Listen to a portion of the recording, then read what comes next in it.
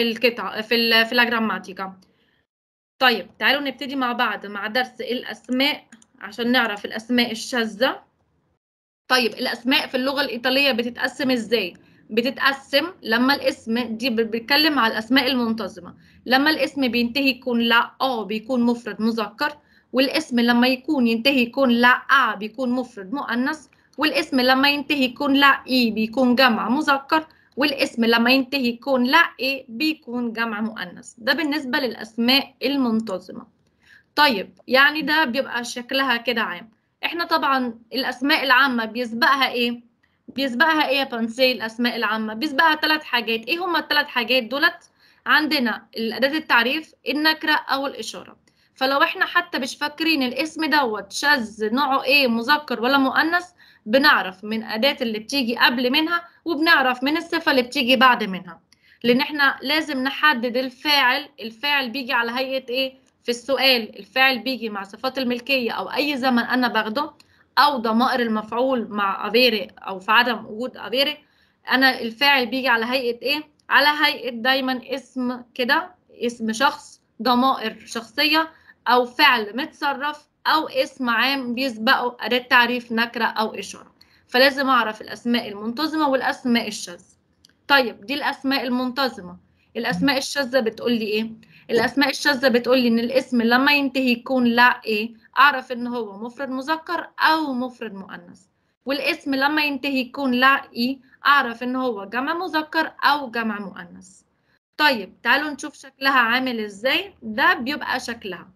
طب إيه اللي أنا لازم آخد بالي منه؟ أقرأ معظمهم لازم أقراهم. أعرف منين الفرق بين الاثنين من أداة التعريف نكرة أو إشارة اللي إحنا هنراجعهم مع بعض النهارده أو من الصفة اللي هتيجي بعد منها. أو لازم أكون أكون حافظة معظمهم. طيب أنا دلوقتي عاوزه أسأل حسن.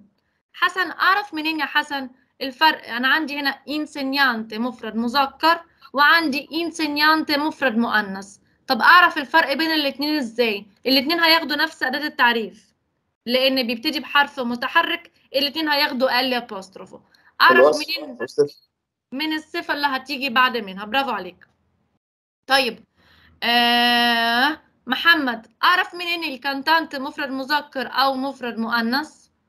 الكانتانت بص بستعمله للمفرد المذكر أو مفرد مؤنث. أعرف الفرق بينهم إزاي؟ أنت معايا يا محمد صح؟ أيوه مسمع حضرتك. طيب أعرف منين يا محمد إذا كان مفرد مذكر أو مفرد مؤنث؟ على حسب آخر حرف في الكلمة. لا مش آخر حرف هو بص بص أنت شايف نفس الكلمة بالظبط. آه على على الصفة اللي هتيجي بعدها. الصفة اللي هتيجي بعد منها أو أداة التعريف لأن في الحالة دي أداة التعريف هتكون مختلفة لأن بتبتدي بحرف ساكن هنا هياخد il وهنا هتاخد la. طيب ده بالنسبة للأسماء الشاذة. أنا عندي بقى أسماء شاذة بيبقى ليها قاعدة كده لازم أخد بالي منها. إيه هي الأسماء الشاذة ديت؟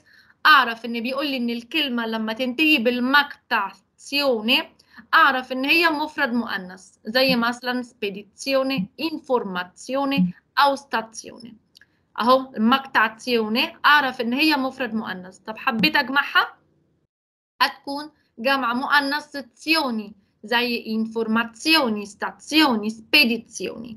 يبقى azione للمفرد المؤنث stazioni للجمع المؤنث طيب أنا عارفه ان الاسم لما بينتهي بالا تمام اعرف ان هو مفرد مؤنث لا بس أنا عندي هنا المقطعمه المقطعمه بيقول لي ان هو الاسم لما بينتهي بمع بيكون مفرد مذكر خدوا بالكم إن المقطع ده معظم الأسئلة بتيجي بيه. يعني خدوا بالكم كويس جدا. يقول لي مثلا problema تمام؟ أعرف إن ال problema دوت مفرد مذكر بينتهي ب ma. الشينما بتيجي كتير في الأسئلة بتاعت ال grammatica programma فخدوا بالكم كويس جدا عشان أنا بعد كده هناخد ضمائر المفعول. اللو واللا واللي واللي. طب أنا أعرف منين هستعمل الهم المناسبة؟ لازم أعرف الأسماء الشاذة كويس جدا. يبقى المقطع ma إلا mamma mamma أعرف إن هي أم الوحيدة اللي بتاخد مقطع ma عادي بس هي مفرد مؤنث. تمام؟ لكن الكلمات اللي بتاخد المقطع ma أعرف إن هي مفرد مذكر. تمام؟ طيب. ista. المقطع ista بيقول لي إيه؟ بيقول لي إن أي اسم بينتهي بالمقطع ista بيكون مفرد مذكر أو مفرد مؤنث. طب أنا أعرف الفرق بين الاتنين إزاي؟ من أداة التعريف اللي بتيجي قبل منها أو من الصفة اللي هتيجي بعد منها. بصوا هنا il dentista la dentista il regista la regista أو il turista la turista. المقطع ista ينفع للمفرد المذكر أو مفرد مؤنث. طب حبيت أجمعهم؟ عادي جدا. جمع مؤنث بينتهي بال e جمع مذكر بينتهي بال i يعني iste للجمع المؤنث isti للجمع المذكر. لكن المفرد الاتنين زي بعض. يبقى الجزء ده مهم جدا إن أنتوا تعرفوه. طيب إيه تاني اللي أنا لازم آخد بالي منه؟ آخد بالي من أي اسم بينتهي يكون l'accento بالنبرة دي مفرد. جمع ما بيتغيرش بيفضل زي ما هو. بس أنا لازم أكون عارفة اللي هو المفرد المؤنث والمفرد المذكر. لما تنتهي الاسم لما بينتهي بالأ con l'accento زي تشيتا بمعنى مدينة أعرف إن هي ممكن تكون مفرد مؤنث تمام؟ أو جمع مؤنث. أعرف الفرق منهم بينهم إزاي؟ بأداة التعريف اللي بتيجي قبل منهم أو من الصفة اللي هتيجي بعد منهم تمام؟ طيب لكن آ آ con l'accento كده زي كافيه أعرف إن هو ما بتتغيرش أولا. مذكر جمع مذكر مفرد مذكر ما بتتغيرش بتفضل زي ما هي لكن أداة التعريف اللي بتتغير والصفة اللي هتتغير.